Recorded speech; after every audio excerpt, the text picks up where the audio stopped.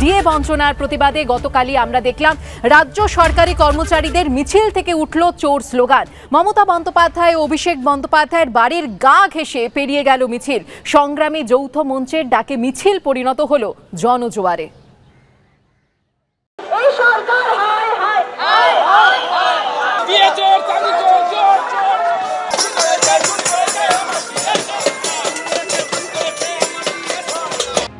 সুকান্ত ভট্টাচার্য লিখেছিলেন, কারা যেন আজ দুখাতে খুলেছে, ভেঙেছে খিল। মিছিলে আমরা নিমগ্ন, তাই দোলে মিছিল। বকেয়া ডিএর দাবিতে শনিবারের মহামিছিলেও সেরকম ছবি দেখল মহানগর। অগণিত আন্দোলনকারীর অংশগ্রহণে জনসমুদ্রের চেহারা নিল মহামিছিল। তারপর স্রোতের মতো তা এগোলো মুখ্যমন্ত্রীর বাড়ির এলাকা।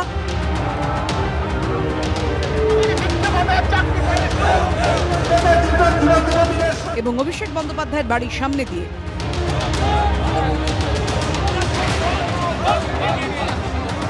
আর এভাবেই ডি আন্দোলনের শততম দিনে ডি আন্দোলনের ঢেউ গিয়ে পড়ল মুখ্যমন্ত্রীর পাড়ায়।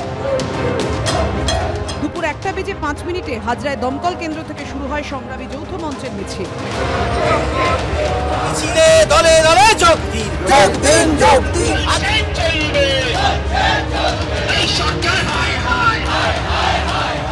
হাটে প্রতীকী দেখো শুয়ে হাজার হাজার সরকারি কর্মচারী সেই মিছিল এগোতে থাকে হরিশ মুখার্জি রোডের দিকে। প্রতীকী সেই মৃতদেহের খাটে লেখা ছিল, পশ্চিমবঙ্গ সরকারের বিবেক। কাঠফাটা গরমেও মিছিলে অংশ নেন হাজার হাজার আন্দোলনকারী। সামনাসামনি বসে দাবি মেটানো উচিত। এত সরকারি কর্মচারী পথে নেমেছে পশ্চিমবাংলার ইতিহাসে কোনোদিন হয়েছে? তারপরেও যদি সরকার বসার সময় না পায় অস্তিত্ব সংকট হবে, এটুকু বলতে পারি। লাগাতার ইয়ে হবে। লাগাতার ধর্মঘট আর কর্মবিরতি দুটোর মধ্যে একটাকে আমরা প্রস্তুতি নিচ্ছি। আজকে যারা রাস্তায় ছিলেন, তারা হচ্ছে সেই শ্রেণির লোক যাদের জন্য মানুষকে চিরকাল হয়রান হতে হয়েছে। আর যারা আজকে সারাদিন কাজ করেছেন, নিশ্চয়ই তাদেরও বক্তব্য আছে। কিন্তু তারা তো কই একবারও বলছেন না। যে সরকারের বকেয়াটা মেটা কেন্দ্র কেন বলেননি? আজকের মিছিলে একটা প্ল্যাকার্ডও ছিল না, কেন্দ্রীয় সরকার বকেয়া মেটা কেন? কিসের জন্য? দুপুর একটাই শুরু হওয়া মিছিলের মুখ যখন দুটো চল্লিশে গন্তব্য অর্থাৎ হাজরায় পৌঁছে সভার প্রস্তুতি নিচ্ছে, মিছিলের শেষ অংশ তখন সবে হরিশ মুখার্জি রোডে। মিছিলের শেষ প্রান্তে মানববন্ধনও করেন সংগ্রামী যৌথ মঞ্চের সদস্যরা। হাজরায় পৌঁছে হয় সভা। শনিবার অপ্রীতিকর পরিস্থিতি এড়াতে সমস্ত রকম বন্দোবস্ত করা হয়েছিল পুলিশের তরফ থেকে। কিন্তু কোনো অশান্তি ছাড়া মিছিল শেষ হয় একেবারে সুষ্ঠুভাবে। পুলিশের অবস্থাটা ভাবুন। পুলিশ কাজ করতে পারছে না। ঠিক যেন সরকারি কর্মচারীরা পাচ্ছে না, পুলিশও পাচ্ছে না। আমাদের এই জায়গাটাতেই অবজেকশন যে এভাবে কিন্তু কখনো আমাদের কন্ট্রোল করা যাবে না। আমরা আমাদের কথা বলবোই। গত মাসেই বকেয়া ডিএর দাবিতে দিল্লিতে গিয়ে ধর্ণা দিয়েছিলেন সংগ্রামী মঞ্চের সদস্যরা। দশ ও এগারোই এপ্রিল যন্তর মন্তরে পৌঁছে গিয়েছিল ডিএ বঞ্চনার আওয়াজ। এবার স্লোগান শাউটিংয়ে মুখরিত হল মহানগরের রাজপথ।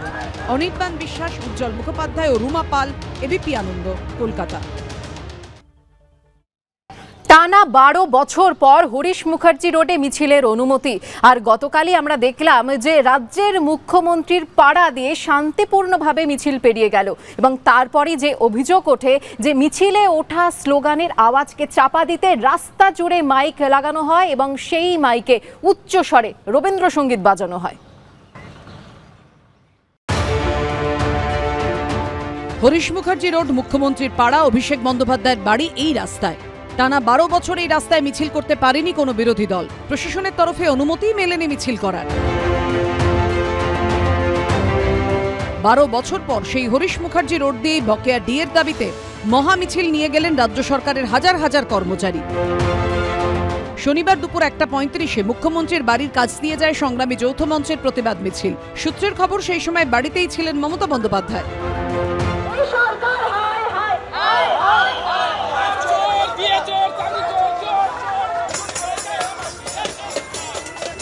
এইটা কিন্তু সবচাইতে স্পর্শকাতর জায়গা ছিল এবং মিছিলের মাথা স্পর্শকাতর অঞ্চল থেকে বেরিয়ে আসলো। অভিষেক বন্দ্যোপাধ্যায় যখন মুর্শিদাবাদে, তখন হরিশ মুখার্জি রোডে তাঁর বাড়ি শান্তিনিকেতনের পাশ দিয়েও যায় সংগ্রামী যৌথ মঞ্চের মিছিল। মিছিলের জন্য অভিষেকের বাড়ি কড়া পুলিশি পাহারায় মুড়ে ফেলা হয়েছিল। অভিষেক বন্দ্যোপাধ্যায়ের বাড়ি থেকে কিছুটা এগিয়ে মিছিল থেকে ওঠে চোর স্লোগান। শান্তিনিকেতন বলতে একটাই বুঝি। কবিগুরু রবীন্দ্রনাথ ঠাকুরের জায়গা। আর বাকি যেগুলো আছে সেগুলো হচ্ছে অশান্তি নিকেতন স্লোগান, অবশ্যই বিজেপির পরিচিত স্লোগান, বিজেপি স্লোগান দেয়, কিন্তু এটা তো প্রভোকিং স্লোগান কোথাও প্রমাণ হচ্ছে না। প্রথম প্রশ্ন হচ্ছে, অভিষেক বন্দ্যোপাধ্যায়ের বাড়ির সামনে দিয়ে মিছিল করা যাবে না কেন? উনি কি লুপ্তপ্রায় পানিতে পরিণত হয়েছেন? অভিষেক বন্দ্যোপাধ্যায়ের বাড়িতে তো কেউ ঢিল ছোড়েনি জুতোও ছোড়েনি কয়েকটা অতৃপ্ত আত্মা, সিপিএম আর বিজেপি, আর বিজেপির দুই ভাই, সিপিএম আর কংগ্রেস আই।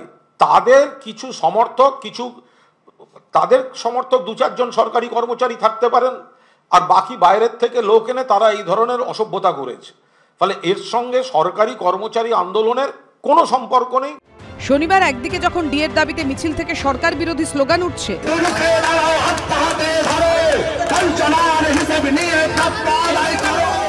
তখন আবার মিছিল যাওয়ার সময় বিভিন্ন জায়গায় রাস্তার ধারে মাইকে উচ্চস্বরে রবীন্দ্রসঙ্গীত বাজতেও শোনা গেছে। শুধুমাত্র রবীন্দ্রসঙ্গীত চালানো হচ্ছে তার মধ্যে কিন্তু আন্দোলনকারীরা মিছিল করছেন। তাদের স্লোগান যাতে বেশি দূর পর্যন্ত না পৌঁছতে পারে এটা বোধহয় প্রশাসনের তরফে এই ব্যবস্থা নেওয়া হয়েছে। দেখুন আমরা বসে আছি আমাদের জায়গায়। আমরা সুন্দরভাবে গান শুনছি ওনারা ওনাদের মতন যাচ্ছেন। ঠিক আছে চলছে এরম ভাবেই চলছে।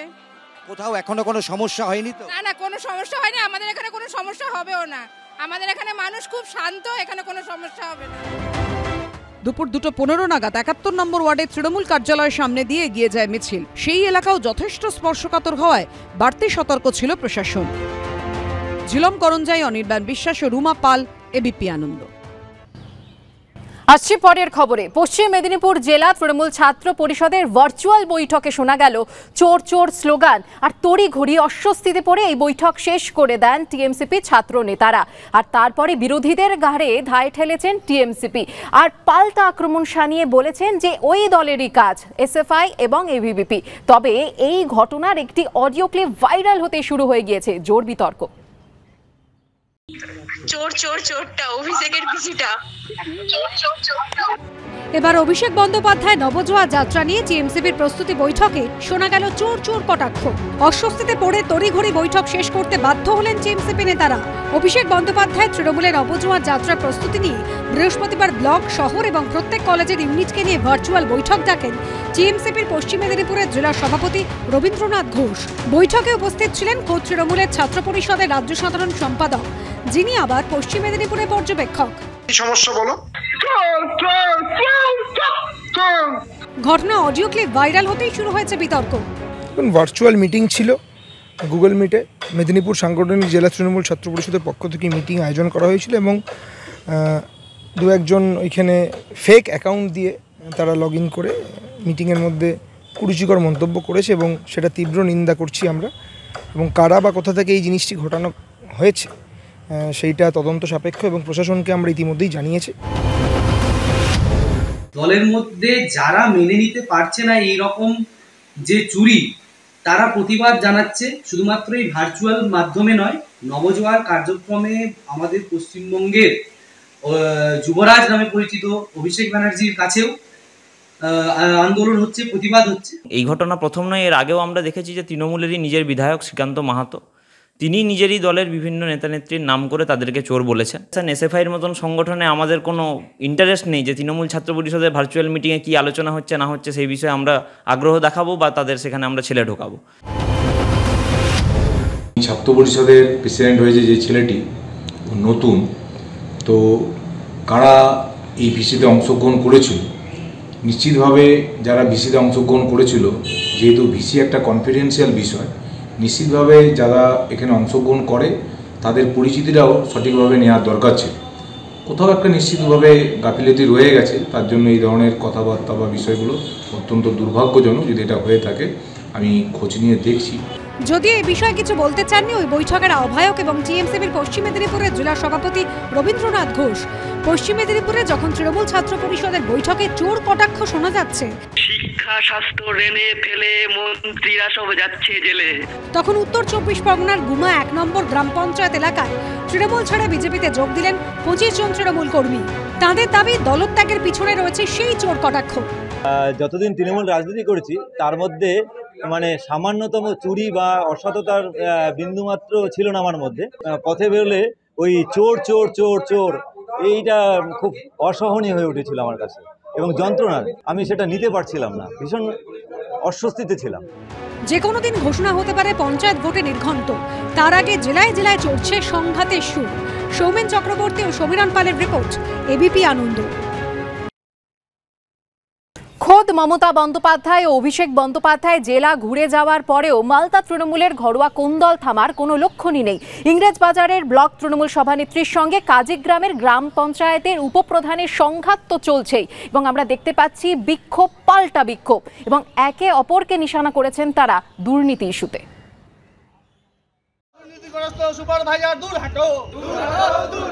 দুর্নীতিগ্রস্ত কাজীগ্রাম জিপি চলবে না চলবে না চলবে না।